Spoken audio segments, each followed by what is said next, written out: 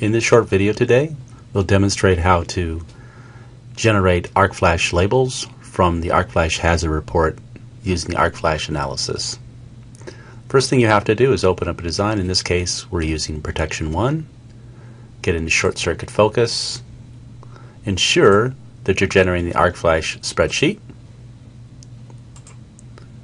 Fault any buses. Hit F8 to pull up the report, is at the bottom of the window. Select the report, which gives you the uh, option to label. Click on the label here. Brings up the printing window, the printing preview window. And the printing preview window has multiple sections. The first section is a label comment, optional label comment you can put on the labels. I'm going to type in just a sample here and this label comment is applied to all labels. Second thing you can do is select a template for the label. In other words, it describes how to take the information from the ArcFlash hazard report and display it in a label. In this case, these are just some samples here. We include all these with Easy Power. I'm going to select this one here.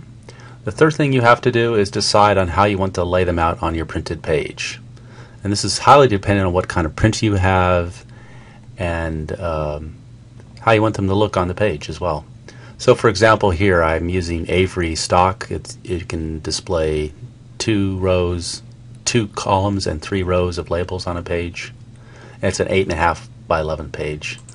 If I have a die cut printer I might use something like this or it's a single label per page or I want to rotate it clockwise because it comes out that way from the printer. I can also turn off the header on the label. So if I have a printer, for example, that has a pre-printed header on the top here, on the right hand side top, I would select a template like this and a page layout like this because it's rotated this way. If it printed it out with the header on the left side, I would tell it to rotate it that way. If you want to see all the details it's using for the printed page, you can open that and see them all here. In this case, the page size is a 4x6. The label is also 4x6. Only one row and one column. No margins.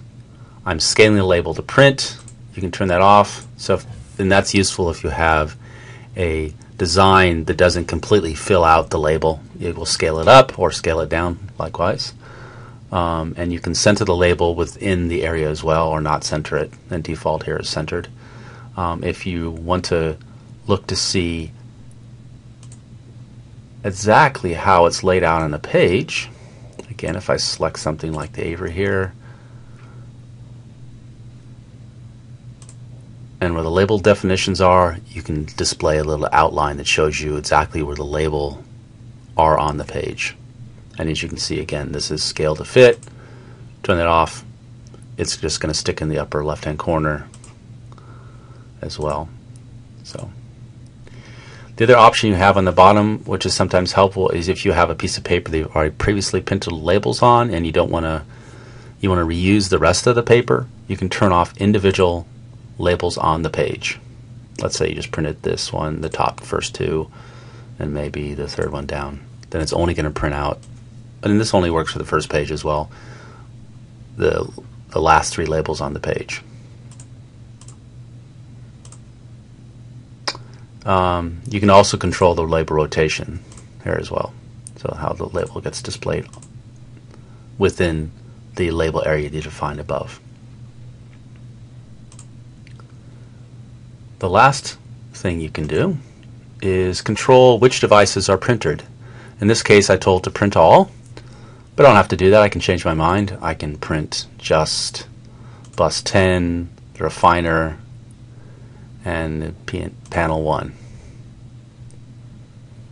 You can also control how many labels per device you want printed. So for this example, I would say, well, I need two labels for bus 10. As you can see, that's in here, here, and here.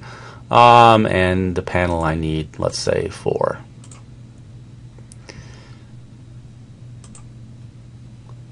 You can browse through the pages. In this case, I only have two pages. Let's re-enable back all the pages again. you can look through the pages exactly how they'd be printed. And it's important to note again that the outline you see here is not enabled by default. And it's also not visible when you print. It's only visible in the preview. Now some labels, um, by their very nature, come out rotated.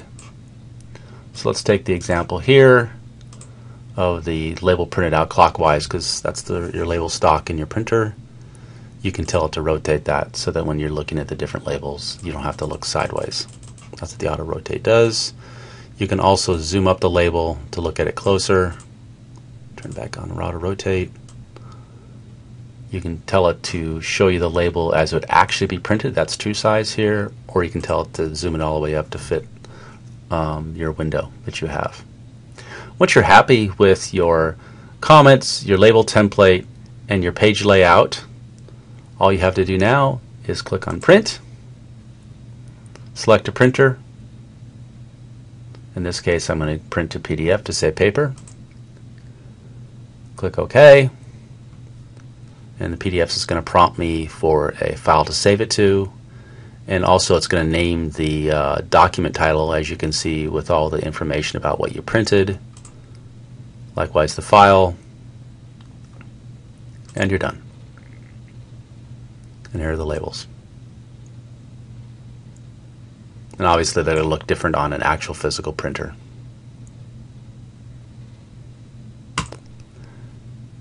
And that is it. And the uh, it's important to note once you successfully printed some labels, it automatically closes the window and you're back to the ArcFlash report and your design as well.